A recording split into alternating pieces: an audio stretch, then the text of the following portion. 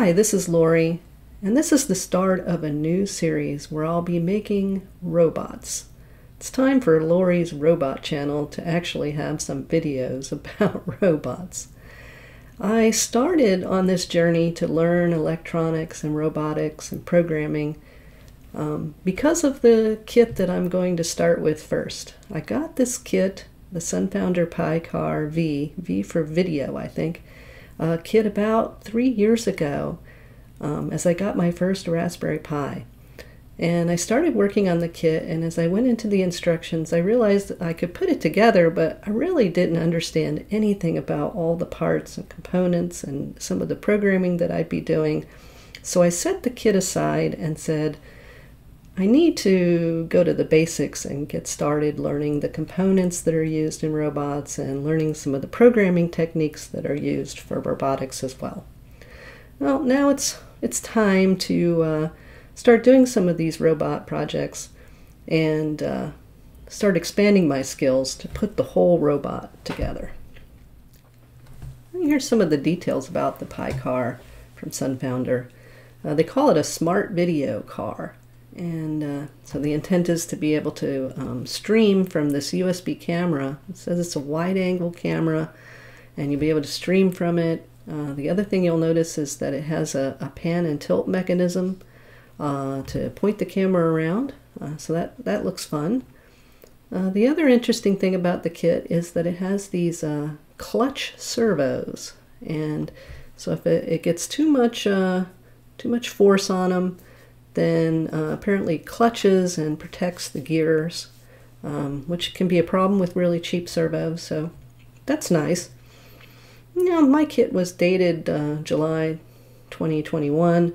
Um, when you go to the Sunfounder site to look at it, it's currently sold out, but there are still um, ones available on Amazon from Sunfounder, so you can still purchase this kit. Um, I went to the GitHub site too to kind of see uh, you know how current the software for this was. And uh, there was an update about five months ago, so that's that's a, a positive. And uh, it says in the README there that the server runs under Python 3 and Django 2, and the client runs under Python 3 and PyQt5. Well, that's a that's nice to know, but uh, there's the two things that I don't know anything about, Django 2 and PyQt5. I don't know that either, so uh, yeah, I went and uh, just uh, did some Googling to see what PyQt5 was, and so it's a cross-platform C++ libraries um, to do uh, things with your desktop and Bluetooth and web browsers and multimedia and so forth. Um, so uh, yeah, so that's something, um, if I'm going to use the, the web streaming part of this code, I, I guess I'm going to have to learn a little bit about that, um, which I said is a little intimidating because maybe not something I'm that interested in. And Django, I've heard of that. I knew it was for web uh, development. So it's a high-level Python web framework. Um, so that's interesting. Um, so uh, I'll have to spend a little bit of time, I guess, learning about that as well if I want to focus on that part of it. But I kind of think my focus will be more on just, um, you know, using the car in, in basic uh, robotic mode. So I just like to be able to um, move the car forward, move the car back, make it turn left and right. Um, as you'll see when I go through a description of the parts, uh, there's it's an open source uh, car, so uh, all the code's available, and they did expose a lot of pins so that you can add additional sensors to it. And I definitely want to um, at least try to do like a, a object avoidance. Um, and maybe with the camera, some uh, color recognition, uh, QR codes, some, something like that. So um, to do that, it looks like that's not things that they programmed. So I'd, I'd have to get into the inner workings of some of the libraries they built to control things on the car and um, and write my own code to do some of those things and add those sensors to to the car. But I mean, it's just a Raspberry Pi, so hopefully. Um, some of the things I've learned uh, in using Raspberry Pis and using electronics with them, I can I can bring to the to the car. Well, our next step is to just uh, start building the car.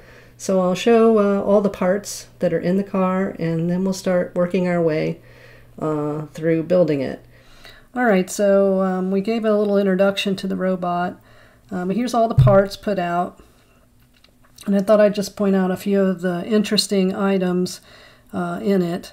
Um, first, I think, are the, are the uh, boards that they include. Uh, so we'll start off with the simplest one. This is the um, motor driver board.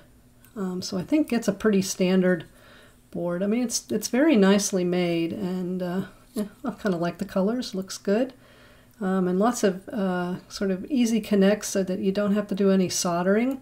Uh, so you can see here, there's a lot of uh, the cables that'll be used to connect things together, and then some cable management uh, as well involved. Um, so, so that's the motor driver board. Let's see. This is the servo board. So this is a a typical board that you can buy to, to control servos. And so we can do 16 servos there. Uh, we only have three uh, in the kit. Um, but so this board is probably useful for other things if I decide not to keep this uh, robot together. Um, again, pretty nice and looks good. So yeah, it's the, what is it, the PCA 9685. So I think these are boards you can you could buy, um, maybe not with all these nice connectors. Also made nicely. And then this is the hat that will go onto the uh, Raspberry Pi, and uh, they call it the robot hats. I don't know what the S is for, um, but it has a step-down converter. It says here, so you can you can input six to twelve volts, and then it'll put out five volts, three amps, I guess. Um, it has an analog to digital uh, converter, um, PCF 8591. I think it's it said it was an 8-bit converter. It has some LEDs on it. Um, so this is the heart, I guess, of the of the robot. That's where the power will come in, and then it has an on-off switch here as well. Uh, UART, and then these pins, I believe, we'll be able to use with sensors here. This uh, this is to uh, the analog to digital converter. And then here's some other things that I think we can expand. The kit advertises itself as as uh, open source, so um, it says you can go in and you know start your own programming, um, which is probably what I'm interested in more than kind of the intent of the car was to kind of create this uh, video that you could have show up on your iPad or your computer or your phone um, and you could see what it was seeing. That's sort of interesting to me, but uh, actually, I'd just like to make some programs to drive it forward. And um, it does have one uh, example about uh, having it track a, a, colored ball. That that sounds pretty interesting to me. I'm a little nervous at that because it's it's an older kit now that I'm getting around to it. It may not software that they put together for that may not be um, ready to go. But anyways, I, I digress. Ah, so, you know, typical motors here. Um, here's a camera for the video part of it. Um, I'll, I'll take this apart and talk a little bit more about this camera. I think one controls the steering and the other two uh, control a pan, the pan and tilt for um, the camera. And I think this is the pan and tilt pieces here that we use or at least some portion of them are. And you can see sort of the chassis. It's, it's nicely put together. It, it's a little flexible. I saw some negative comments about this bending and warping uh, in use, but uh, yeah, you can see how it's labeled where things go. Um, so all in all, I think that all looks good. Got a few tools that you'll need. Put everything together and then a bunch of hardware bags here, so I won't go through all those. All the hardware. It's all nicely labeled. Um, you can see here it uh, tells you what each bag contains and how many pieces should be in the bag, so you can tell if you have everything. The power is going to come from, you know, one of these uh, 186 650s, actually two of them, and then this will plug into that hat. And I have a couple of those. I, I purchased them. And then in the wheels, so here are the wheels, uh, two different front and back. Uh, actually, I don't remember which was which. Um, so they, they feel nice. Uh, got a little bit grip to them. yeah, so that's everything here. And I think if you just built this straight through, I'm suspecting this would take you an hour or two to put together. And it comes with a pretty nice uh, instruction manual. And uh, also on the website, there's um, up-to-date instructions uh, to uh, do it. But it's all nice in color and uh, I think really shows you how to put things together. So I'm not anticipating that this part of it's going to be very difficult at all. Um, but we'll see as I put it together. Like I said, I may just show some photos of the before each step and after each step. And then if anything was confusing, then I'll try to um, film that or discuss that during the video. Not sure how many videos I'll need to, to cover building this and at least getting started doing some programming with it. we'll see how it goes. So I took the camera apart, try to figure out what kind of a camera it was. Um, it doesn't really say in any of the instructions, and there wasn't a data sheet on the GitHub site. So I opened it up and uh, looked around for some identification. And I found a little something here on the back. Some numbers here. I Googled those up and uh, I didn't find a lot, but I did find somebody who did a teardown of this camera. And uh, interestingly enough, if, if, you read the, um, little lensy thing here, cover, I guess, more than anything, it actually says it's an 8 megapixel camera, um, which I didn't think it was either, looking at the kind of the quality of it just didn't look like it would be that kind of quality. Um, I'll show next uh, the teardown page that shows that this is maybe a 640 by 480 and can possibly do 30 frames per second. Um, does have the ability to, I guess, do some, you know, some zooming in and out here to focus.